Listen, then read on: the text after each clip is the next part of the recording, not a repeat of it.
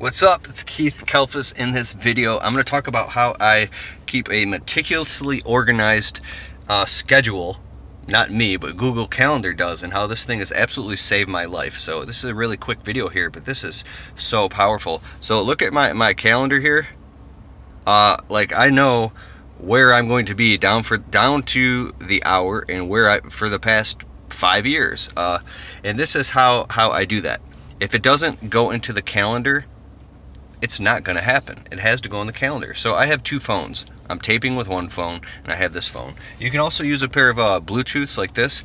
Here's how I do it. When the phone rings, pick up the phone. I say, hello, this is Keith with Kalfas Landscaping. How can I help you? And the customer goes, yes, I was looking for an estimate for this, this, and this. No matter what they say, I say, great, how did you hear about our services? And I'll pull over it's this you can't do while you're driving. but I'll pull over. I say, uh, one moment, please, while I pull over. We're very busy right now, so let me pull over so I can take down your information. Pull over.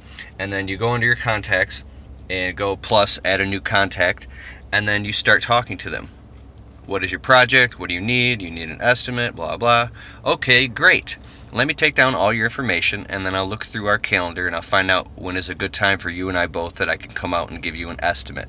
I normally uh, only do estimates on Saturdays now because we're just so busy, right? If you don't have a secretary. So I press plus and I say, okay, your first and last name. Now, uh, if you got Bluetooth, you can actually do it right then and there looking at your phone. That's why Bluetooth is so great because you can't be like going like that and on speakerphone, it doesn't work. So they tell your name, Tom Jones, and I'll put a little notation tree trimming, landscaping, or window cleaning right next to the name because I literally have uh, 22 Michaels, 22 Mikes, uh, like eight Daves, 30, like 4,300 contacts from because I, I do this by habit, right? Windows, okay. And the best phone number to reach you at, type it in. And then you say in your email address every time. They'll go, and they'll just give you the email Okay, now you got their email no matter what because even if you give them a quote or give do work for them or not, now you've got all their contact information and you can market those services to them. Once a day I got to like plug my nose and blow and pop my ears, my equilibrium. We're working hard, man.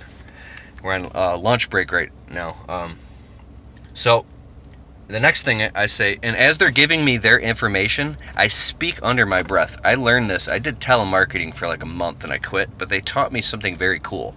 If you're on the phone with a customer and you're taking down their information, whether you're writing it or typing it, you say, okay, T O M J O one two. You very subtly say it under your breath as though you were typing it or writing it, so they can faintly hear that you're. So you're if so so you're not just sitting there completely quiet while taking their information because they will go. Hello, are you there? Are you there? Yeah, yeah. I'm just taking down your information. So T O. Uh, you get it? Okay. So once you get all that, you say, okay, I got that, save it. Now you got their contact info, and you say, okay, I'm going to open up my calendar here, and then let them know what you're doing. So I open up my calendar, and I start looking through. I say, I'll tell you what, Mary, um, we're booked out for the next two weeks, but the following Tuesday, we have um, Tuesday morning, 9 a.m. M open. Uh, we can be there with a two-man crew or five-man crew or eight-man, whatever, and get that done for you. That's if it's if it's like window cleaning. I could quote the customer directly over the phone by looking at Google Maps. I go, oh, that looks like our 199 package. Yeah, we do that all the time. Our most common package is window cleaning inside and out, plus screen cleaning and wiping down of all sills. That's our 249 package. And you pause. If they're not going to be like, oh, that's way too expensive and they say, okay. Um, so we have next Tuesday morning open. Do you want me to keep moving forward for other dates, or does that work for you?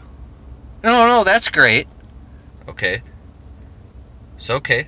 Uh, Tuesday morning, uh, August 8th at 9 a.m. Okay, I'm penciling you in right now. Um, I, once again, my name is Keith with Kalfas Landscaping or Kalfas Window Cleaner, Joe's Power Washing. Uh, I, you can expect to see me there uh, Tuesday morning, August 8th at uh, 8 a.m. or 9 a.m. and uh, the job will take approximately 2.5 hours. Uh, I ask that you raise up all the windows and the shades, or move the cars out of the driveway, or make sure all the sprinkler systems are turned off that morning, right? Or we, if it's an over a thousand dollar job and you quoted it, we require a 50% down and a, a, a signature before we get started. Whatever that is, as long as you communicate all that crap to the customer over the phone with a professional caring tone of voice, then they assume that they're talking to a professional service business and they've got all the information they need and now they could be at ease because they're going to put it on their schedule and then you always say weather permitting we'll be there weather permitting you know if there's a big rainstorm i will give you a call if we have to push it back but we'll be there and i'll give you a 30 minute heads up call or text message when we're on our way is text message okay right there you go. You can now go forward if you've got a CRM and you can uh, a customer relationship management, you know, database software, and you can send them an email with all that in there as well. I don't got time to do that crap.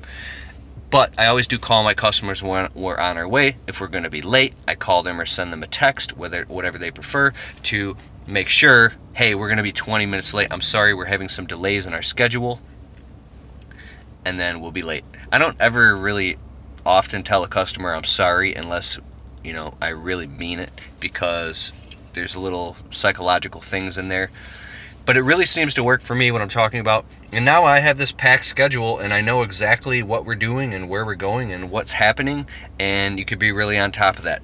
The dumbest thing or the most common mistake is when you get busy is to bite off more work than you could chew and say oh maybe i can squeeze that in. And i've learned hard lessons by working sunday nights and having work piled up on my head but that's a totally different video. So i hope you got something out of this video. You can do it whether on iphone or as long as you got google or you can buy into a software. There's tons of different great softwares. As long as they have an app and it's easy access and it can integrate with